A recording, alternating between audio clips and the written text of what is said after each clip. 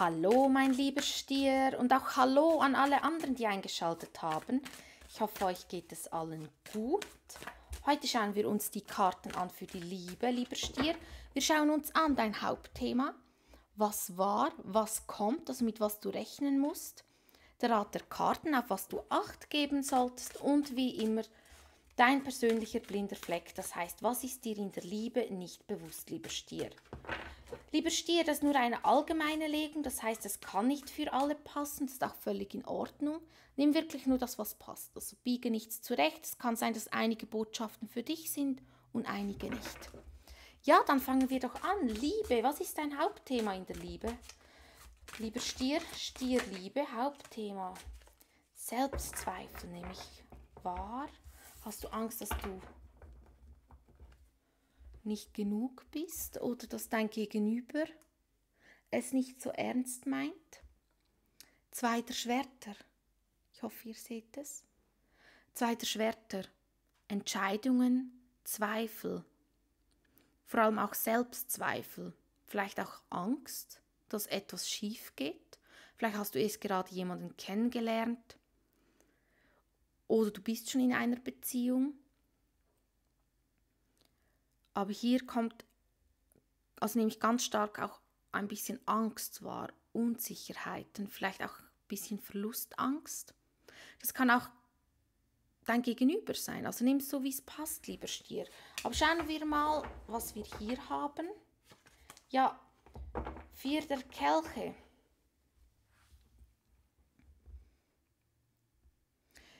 Ja, ich nehme wahr, dass sich jemand ist sich nicht ganz hundertprozentig sicher. Entweder bist du das oder dein Gegenüber. Ich nehme auch wahr, dass vielleicht einige überlegen, ob es vielleicht doch noch etwas Besseres gibt, blöd gesagt. Oder man kann es vielleicht nicht so richtig glauben, dass dein Gegenüber sich für dich interessiert oder du kannst es selber nicht so richtig fassen. Also nimm wirklich das, was passt.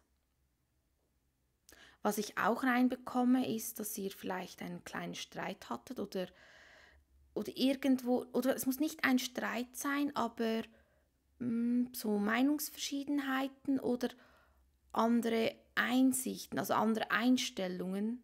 Das können vielleicht familiäre Einstellungen sein, könnte auch etwas mit Religion sein, muss jetzt nicht, aber ich sehe, dass irgendetwas, seid ihr nicht auf der gleichen Wellenlänge und das verunsichert. Ich habe zwar aber das Gefühl, es ist wahrscheinlich nur etwas Kleines, aber jemand verunsichert das oder das triggert ein bisschen die Angst. Das nimmst du, wie es passt. Hä? Aber schauen wir mal weiter. Warum zweiter Schwerter? Warum zweiter Schwerter? Stier bitte. Ja, vielleicht ist auch das Thema Geben und Nehmen. Vielleicht hast du das Gefühl, es ist ein bisschen einseitig. Oder dein Gegenüber hat das Gefühl, es ist einseitig. Also wenn du jetzt das Gefühl hast, du bekommst genug, dann überleg auch ganz genau, gibt es auch gleich viel zurück. Und ich meine, das müssen jetzt nicht Einladungen sein, das können vielleicht auch Umarmungen sein oder liebe Worte. Irgendetwas fühlt sich ein bisschen noch einseitig an oder es ist noch nicht ganz, äh, die Balance ist noch nicht ganz da, hundertprozentig. So ein bisschen Geben und Nehmen Thema. Jemand fühlt sich hier, hat das Gefühl, gibt viel mehr als der andere. Entweder bist du das lieber Stier oder dein Gegenüber hat das Gefühl. Aber schauen wir mal. Und das triggert auch wieder diese Zweifel. Was war denn in der Vergangenheit, lieber Stier? Was war in der Vergangenheit? Stier bitte. Vergangenheit. Schon wieder eine 2. Eine Entscheidung zwischen Stühlen und Bänken. Man musste sich entscheiden. Vielleicht hast du dich entschieden und du bereust es oder du bist unsicher, ob es wirklich das Richtige war, diese Entscheidung. Kann auch sein, dass du es mit zwei Personen zu tun hattest oder dein Gegenüber. Ja, ich habe auch stark das Gefühl, ähm, diese Entscheidung kam plötzlich. du musstest dich entscheiden und zwar schnell. Krebsenergie, so Wasserzeichen. Schauen wir mal, warum zweiter Stäbe in der Vergangenheit? Warum Stier? Ja. Bube der Stäbe kann auch sein, dass du unsicher warst, ob das wirklich emotional gesehen Tiefe genug hat oder ähm, ob das mehr körperlich ist, nehme ich wahr. Und für einige nehme ich auch wahr, dass vielleicht jemand ein bisschen unerfahren ist in Bezug zu Beziehungen oder schlechte Erfahrungen gemacht hat. Entweder bist du das oder dein Gegenüber. Also nimm wirklich so, wie es passt. Feuerenergie, aber so eine junge Feuerenergie, vielleicht auch etwas eine naive, unerfahrene Energie. Ja, interessant.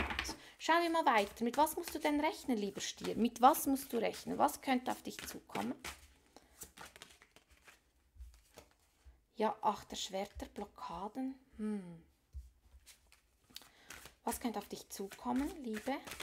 Irgendetwas blockiert dich. Ich habe auch das Gefühl, du kannst dich noch nicht hundertprozentig fallen lassen.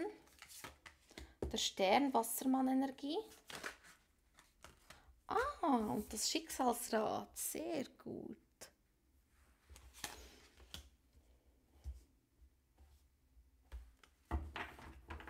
Was haben wir hier? Schon wieder vier der Kelche. Oder ist jemand vielleicht eingeschnappt? Das kann auch sein. Natürlich jetzt nicht für jede Person von euch. Aber ich sehe das vielleicht bei einigen, eine kleine Diskussion war oder Meinungsverschiedenheit und jemand hat sich ein bisschen zurückgezogen und schmollt jetzt. Entweder bist du am Schmollen oder dein Gegenüber. Natürlich jetzt wirklich nicht alle. Hm. Das wird nur eine Botschaft für wenige sein. Falls du jemanden kennengelernt hast und diese Person möchte vielleicht einen Schritt weiter gehen und du bist dir unsicher. Also jemand, ich sehe einfach im Unsicherheiten, unglaublich. Ist es das Richtige? Ist es nicht das Richtige? Ich habe das Gefühl, du hast extrem Angst, eine falsche Entscheidung zu treffen oder dein Gegenüber. Kann natürlich auch sein. Aber hier mit Achter Schwerter, Blockaden. Du fühlst dich, irgendjemand fühlt sich bedrängt oder blockiert oder oder hast du Angst, dass du die Beziehung vergeigst? Bist du neu in einer Beziehung oder hast jemanden kennengelernt? Oder bist auf der Suche und hast Angst, etwas falsch zu machen? Irgendwie Unsicherheiten, Selbstzweifel. Du willst Vertrauen haben, aber es fällt dir auf eine Art schwer oder dein Gegenüber fühlt so. Schauen wir mal, warum achter Schwerter? Ja, Liebeskummer. Hast du Angst, dass es in die Hose geht? oder dein Gegenüber, dass es kracht. Herzschmerz. Man kann sich nicht richtig öffnen, man hat unglaublich Mühe damit. Das heißt jetzt nicht, dass keine Gefühle da sind, überhaupt nicht. Das heißt einfach, dass Ängste da sind. Man zeigt sich halt verletzlich. Und das ist ein bisschen das Problem. Kann aber auch sein, bekomme ich auch stark rein, dass auch ein bisschen etwas getriggert wird aus der Vergangenheit irgendetwas kommt hier wieder hoch und sperrt dich eine Art wie ein, nehme ich wahr. Aber keine Angst, lieber Stier, weil hier kommt der Stern. Der Stern ist eine sehr heilende Karte, eine Karte, die eine Vision hat. Man hat ein Ziel, ein Licht vor. Also man sieht ein äh, Licht am Ende des Tunnels, so muss ich sagen. Wassermann-Energie kann auch sein, dass du es mit einem Wassermann zu tun hast. Könnte wirklich jemand auf dich zukommen, falls das noch nicht passiert ist? Und diese Begegnung ist für dich bestimmt. Also ihr kennt euch, Schicksalsrat. Ihr kennt euch schon aus einem vorherigen Leben und ich habe auch stark das Gefühl, dass entweder gibst du dieser Person extrem Kraft oder diese Person gibt dir Kraft. Also eine unglaublich heilende Energie hier auch. Und eine schicksalshafte.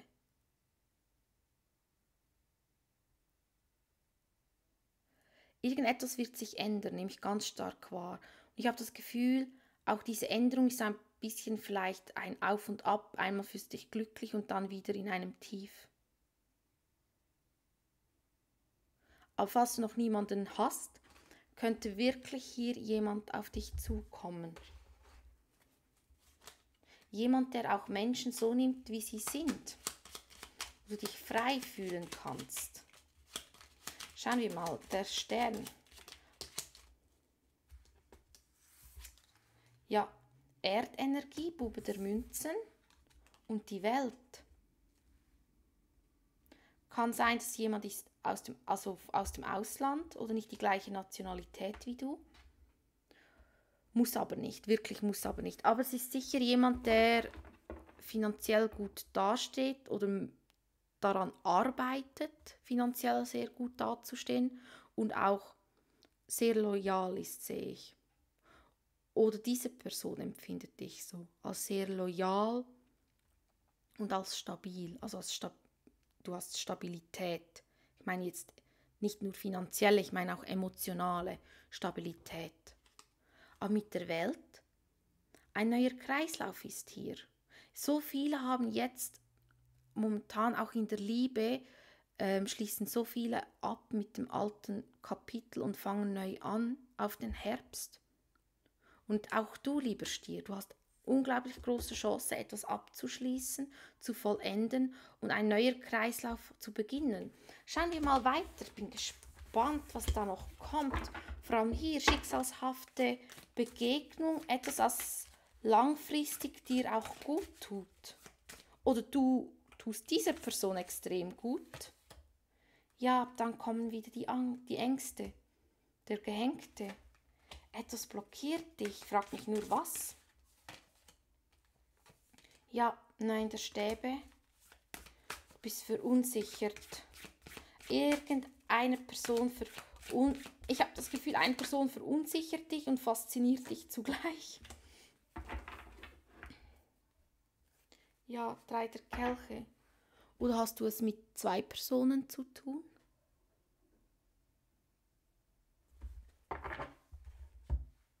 Irgendetwas verunsichert dich, blockt dich. Ich weiß nicht, du musst wirklich aufpassen, lieber Stier, dass du dich auch nicht verstellst. Bleib so, wie du bist. Weil ich habe das Gefühl, diese Person will dich so, wie du bist. Also du darfst wirklich dein wahres Gesicht zeigen, musst du keine Angst haben. Du musst einfach wirklich schauen, dass du nur das machst, was du wirklich willst, weil mit dem Gehängten hat man manchmal Mühe, sich auch selber zu spüren, sich auch intuitiv zu spüren, was will ich, was möchte ich. Und dann kann es sein, dass man schnell falsche Entscheidungen trifft in der Liebe. Darum, wenn du Zeit brauchst für dich, nimm dir diese Zeit, behalte deine Energie für dich, weil ich habe das Gefühl, ein bisschen Gefahr von emotionaler Abhängigkeit liegt hier. Also sie kommt nicht, aber so eine Tendenz, du weißt, wie ich meine, aber mehr aus Unsicherheiten. Nicht, weil diese Person toxisch ist, überhaupt nicht. Mehr bezüglich Unsicherheiten. Und sonst sprech darüber, wenn du dich unsicher fühlst und du Angst hast, dass diese Person vielleicht gehen könnte oder, ich, oder etwas unklar ist, sprich darüber unbedingt, weil sonst kannst du diese Verbindung hier gar nicht genießen, habe ich das Gefühl. Weil mit neun der Stäbe du, mm, wirst Schritt für Schritt lässt du diese Person in dein Herz. Oder umgekehrt, diese Person lässt dich Schritt für Schritt in sein Herz, dann brauchst du extrem Geduld. Und vielleicht einfach darüber sprechen. Vertrauen fassen. Man, ich habe das Gefühl, man ist wie ein bisschen überfordert hier irgendwie. Weil mit der Sonne pures Glück. Das ist eine Verbindung, die eigentlich unter einem guten Stern steht. Pures Glück. Aber wenn sich natürlich beide verschließen oder jemand verschließt sich und man öffnet sich nicht,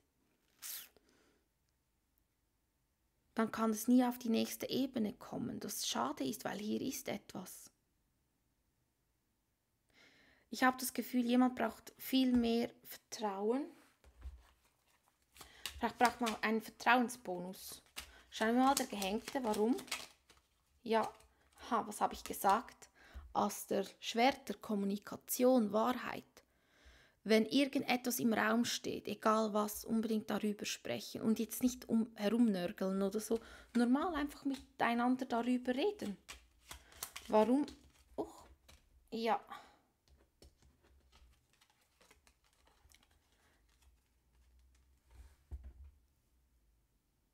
Kraft, du brauchst Vertrauen und ich glaube, ihr braucht vielleicht Kompromisse. Also wenn du jemanden kennengelernt hast, braucht es hier wahrscheinlich noch die Balance. Die, ja, das hatten wir ja schon. Ist noch nicht da. Aber ich habe das Gefühl, es ist, es ist möglich. Es ist nicht unmöglich. Man muss aber miteinander sprechen, was man will. Und aufeinander eingehen. Niemand darf stur sein. Falls du jetzt sagst, ja, ich habe ja niemand, könnte es sein, dass du wirklich jemanden kennenlernst. Oder es betrifft dich selber. Vielleicht musst du auch mit deinen Vorstellungen oder mit dir selber einen Kompromiss machen. Vielleicht bist du zu kritisch, auch zu dir. Wirklich einen äh, Kompromiss, Mittelweg finden und Vertrauen fassen. Warum die Sonne? Warum das Glück? Also es steht, ihr habt das Glück ist auf eurer Seite. Ja, Erdenergie, König der Münzen. Deine Energie. Finde deine Stabilität und deine Mitte oder eure Mitte in, einer, in dieser Kennenlernphase oder in dieser Beziehung, weil da ist wirklich eine Verbindung, aber es ist irgendetwas, wurde vielleicht noch nicht richtig ausgesprochen gesagt, ähm, man umgeht es und das hinterlässt halt Unsicherheiten. Aber schauen wir mal, was ist denn der Rat der Karten? Was ist der Rat der Karten? Für Stier bitte. Ja, Gefühle sprechen. Der Mond. Der Mond ist nicht nur eine Illusionskarte oder ein Hinweis auf Geheimnisse, sondern auch auf, dass nicht alles gesagt wurde und dass die Gefühle noch im Verborgenen liegen, dass die hervorkommen müssen.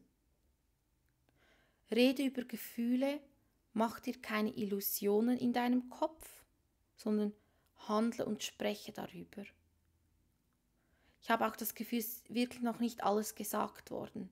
Sei das, das kann etwas Kleines sein, etwas Banales, aber vielleicht trotzdem etwas Wichtiges. Was ist dir nicht bewusst, lieber Stier? Dein blinder Fleck. Was ist dir in der Liebe nicht bewusst, lieber Stier? Ja. Nicht unterwerfig sein. Ganz, ganz wichtig, Thema Augenhöhe. Und das, das könnte etwas für die Ewigkeit sein. Das siehst du nicht. Thema Unterwerfung also wirklich schau, dass du Augenhöhe hast mit dieser Person. Oder auch, wenn du dich in den, im Spiegel anschaust, dass du auch auf Augenhöhe dich betrachtest.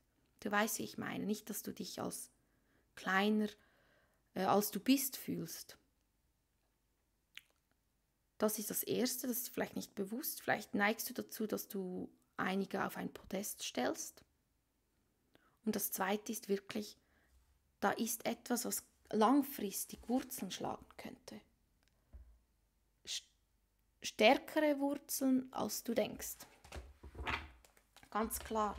Schauen wir mal, Romance-Karten, Stier. Was haben wir hier? Stier, bitte, Liebe. Uh, noch eine bitte.